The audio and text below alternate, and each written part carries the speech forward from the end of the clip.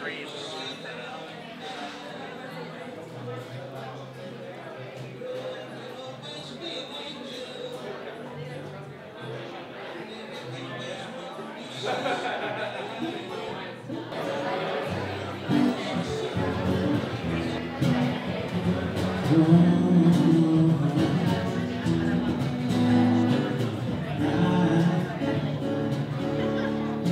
so in love.